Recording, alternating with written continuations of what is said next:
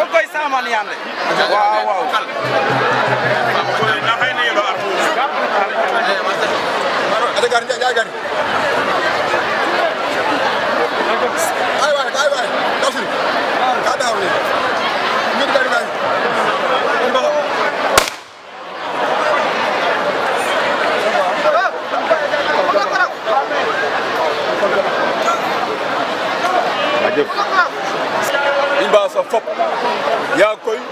Maam in ke mbi'oogun a cooɗin paap in ke a cooɗin maam in me ta refna koy. Nuun oxa teɓanoogay fa in sesu teen. Yaag koy in way gidma nuun a paax. Kene ref cosaan a Njanjaay ten refo mis Diobaye ten taxu Sénégal fop an respecté a Fatick. An respecté a Njanjaay jërëjëf.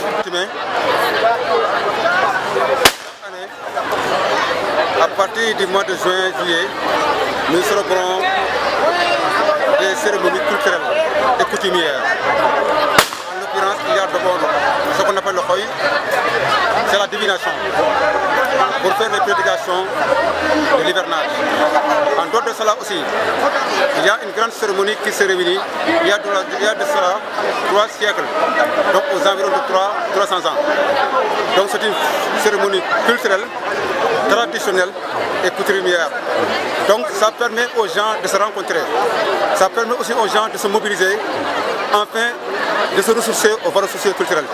Parce que la date avait dit que, comme le disait Senghor, tantôt mon grand frère euh, Bougar l'avait dit, Senghor disait qu'il faut s'enraciner aux valeurs socioculturelles. Donc la culture va de pair avec la religion. Et la religion aussi va de pair avec la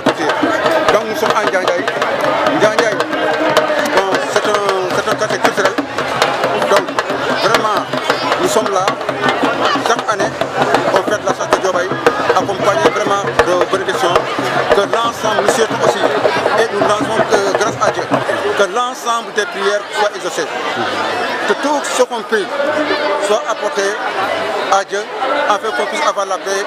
Parce que tout ce qu'on fait, sans la paix, il n'y aura pas de sens. La paix avant tout, c'est le jargon de la gloire. La paix est le noyau central de la tradition Cette cérémonie-là existe depuis le 14e siècle. Cette cérémonie, c'est la chasse de Djobay. Ça montre la culture qui existe ici en Djanjaï et l'une des rares cultures qui existe jusqu'à présent. Donc, ça, c'est une cérémonie culturelle et on veut que que ça soit reconnu par l'État. On veut que ça soit classé dans le patrimoine culturel. Et nous espérons que c'est en voie avec le ministre Alisson et avec l'appui euh, du ministre Matarba, chef de cabinet du président, qui avait euh, commencé euh, euh, euh, euh, euh, le début pour que cette chasse de Djoboy-là soit classée dans le patrimoine culturel national. Donc, nous sommes en bonne voie. Il paraît que reste que la signature. Mais ça, ça montre que tous les peuples gardent leur culture. Ici à Fatigue, la ville de Mambilis où, réside, où, est né le président de la République, voilà, qui est le quartier historique, n'a pas laissé sa culture et va continuer à gérer ça parce que c'est une où on étudie les hommes. La nuit, on fait le khoy, le matin, on fait Djobaï. Merci, mon ami, mon frère. Voilà la quintessence de cette cérémonie-là. Merci beaucoup. non non non